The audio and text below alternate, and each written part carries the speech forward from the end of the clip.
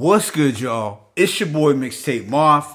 Duffel Bag Ran is back on the scene with this brand new project, continuing to remind us why he is one of the nicest MCs in the game, despite being forever slept on by mainstream hip hop media. Now, this is actually Ransom's first album of 2022, even though he is this prolific artist. This is his first solo project of the year. Obviously, with Ransom, you were getting well crafted street scriptures and intricate bars of pain. This new album, No Rest for the Wicked, contains 11 tracks and lasts approximately 39 minutes, so it's a little longer than some of his past solo material since around 2020. We have three tracks produced by Nicholas Craven, who has had insane chemistry with Ransom uh, over the past couple years, but the rest of the production is handled by some lesser known producers like Streezy, Bernard Woodside, Mayor, Big Jack, and Prophecy. Uh, but with that being said, let me go ahead and just hit y'all with this track by track breakdown. This thing kicks off with The Hawk. It has a cinematic instrumental that gave me strong, rocky vibes. There's a boxing champion theme throughout. You can literally envision Ransom going toe to toe in the ring, bloodying up MCs, but coming out victorious. It's a hard hitting and fire track to set this off, and it's definitely going to be motivational for the gym. And in general, it's hard to miss when you start your album out with boxing theme music. Track 2, Rituals with 38 Spesh, has a wavy and atmospheric beat that's a bit trap inspired. It's something different for Ransom to rhyme over, but I like the change up. They talk about what goes into being a real one, all the dedication, pain, discipline, grinding, and rituals. While Ransom had a dope verse, it was 38 Spesh who I feel was the MVP of this song. I just dug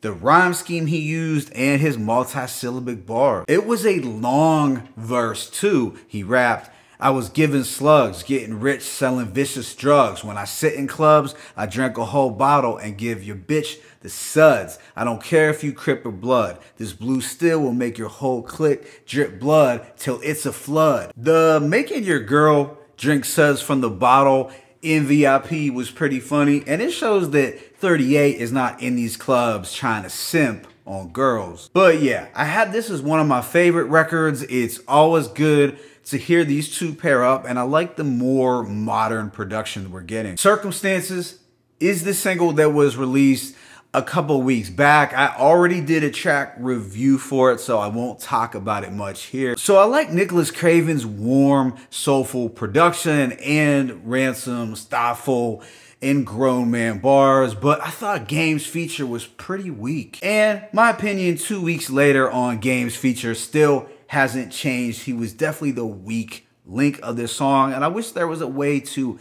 edit out his verse on title. But other than that, I like this song. Hopefully, the game's feature could possibly open up doors for Ransom, but I don't even think that a game feature still holds uh, that much weight in 2022. Track 4, Overnight Success has another cinematic string beat from Streezy, the same producer from track one. This record is essentially a dedication to the grind. He's reminding folks of his long, arduous journey to the top. There was a lot of toil and sleepless nights. I like the following jewel. You gotta work if you believe in planning because you'll never find your greatness on a beach just tanning. So I was able to connect it back to myself because I personally never dug beach vacations as I've always felt pretty restless and like I was wasting my time on the beach. I'd much rather go to a new city, uh, check out the culture, go to the hood. Probably most people's idea of not a vacation, but switching gears, I found his following bars to be pretty epic. Wrote the Bible to this game. Now it's time to write out the blunders. Few testaments. I wrote this new Exodus, scripture by scripture. Picture this is true excellence. Can't leave it up to God because I'm a true pessimist. This shit was dead and gone till this dude blew breath in it. Afterwards is the Nicholas Craven produced Compromised where we are getting a fantastic soul sample on top of a violin. And Ransom reminds folks here that no sample snitching is allowed. This record is a complete bar fest with fire production from Craven. I like Ransom's sinister lines we ain't got to meet if there's beef that'll make you a vegetable. Rest in peace. T-shirts. Artists make a sketch of you. Your brother want revenge, but that'll make it a death or two. There are other standout and rewind worthy bars like I ain't gonna keep my enemies close. Never turn a wolf into a house pet, which is pretty insightful because as wise and as iconic as that keep your friends close, enemies closer line from The Godfather is, uh, Ransom's giving us a different perspective here. I also liked when he said, I'm a light sleeper. I don't trust it all. I know some dudes who worship Hove and recite ether. Fire. Track six, Making It, is essentially a perseverance anthem where he talks overcoming obstacles and he gives us the keys to success. The hook sounds like it could have been inspired by Nas's Life is What You Make It from I Am. The production here is smooth, polished, and soulful, reminding me somewhat of a beat that Drake would rhyme over. Ransom raps Went from park benches to long trenches. Louis Vuitton mentions I'm making a calm entrance, speaking right, cause some dudes will do time for the wrong sentence. There's also a line that resonated with me just remember never be so loyal that you betray yourself. It's just a reminder that you can't be blindly loyal to some people, especially if they put you in harm's way. You gotta exercise good judgment and show some balance. The next track, Redemption, has some sample based production that does feel like a poor man's just blaze beat. It does give off those 2000s Rockefeller vibes. However, I didn't find it to be an amazing beat, even though I am a big fan of soulful production. Still, Ransom manages to make the best out of it. There's a lot of great lyricism and sharp game that Ransom hands out on this track. Stuff like, I gotta think twice when I pull this weapon of mine, cause no amount of money ever bought a second of time. I also really dug I took some time off, then I went on a clever run. Classic after classic, the best will yet to come. Now my heart is forever numb. Now who is DMC that will cause a reverend to run? Fire Run DMC reference. Yeah, Redemption possibly had some of his best lyrics on this album, but I feel the beat was a bit average uh, for the kind of soul production that Ransom's typically featured on. The subsequent song Captions has a ghostly and mellow beat with strings and a vocal harmony. It's smooth and low key, but an effective backdrop for Ransom and Tyrant. This is a concept record that addresses all that is wrong with the social media era and the metaverse. Ransom and Tyrant basically address the elephant in the room and that is the society is lost being obsessed with things like likes,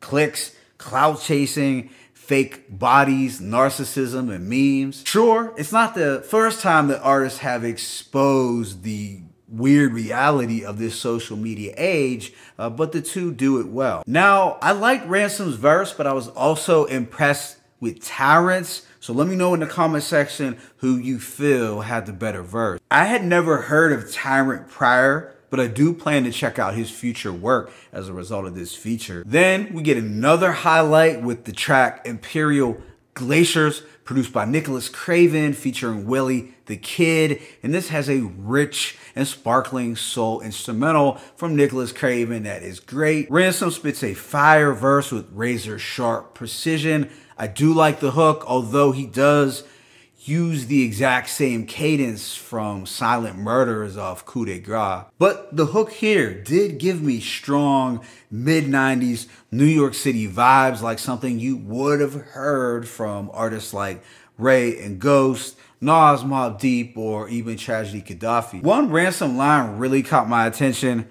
These little dudes using Drakes because they hearts on the line. Willie the Kid came through with some fly luxury bars, but it was Ransom who had the better verse. The second to last track is The Gambler, which samples from Marvin Gaye's Life is a Gamble, so it's a very smooth and angelic backdrop. This one is a concept song about all things gambling. Ransom provides uh, sharp gambling imagery and references throughout. He reflects back on all the gambles that he took not only in the streets, but also in the early part of his rap career. And he reminds us that if you want to advance, then you have to bet on yourself and be willing to take risks. Then the album comes to a close with beautiful grave sites featuring JR and Black Chakra. We get a higher pitched soul sample actually produced by JR, which is pretty effective, but I have heard this sample used a few times. It's a real punchline heavy record where you're getting slick wordplay from everyone involved. While I feel JR had some clever punchlines and I like Black Chakra's deep wordplay,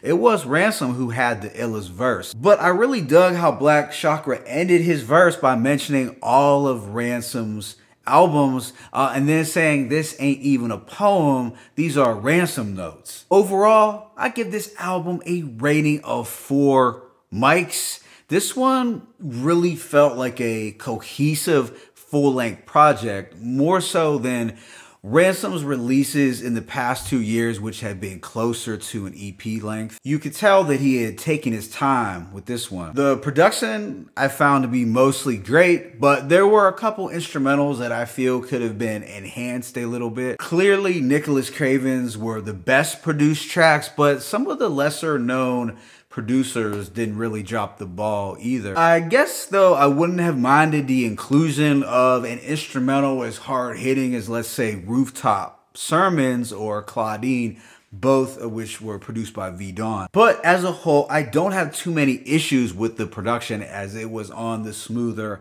and soulful side, you know, and Ransom brought his A game as expected. At the end of the day, I actually like this release a little more than last year's Heavy is the Head, which was a favorite for many. And I am looking forward to the additional projects that Ran will be putting out before the year is over. My favorite tracks include The Hawk, Rituals, Compromise, Redemption, Captions, and Imperial Glaciers. Let me know what you thought about this album in the comment section. It's your boy Mixtape Moth. I'm signing out, but be sure to hit that like button and please subscribe. As always, it's peace and blessings. Ransom, no rest for the wicked. One.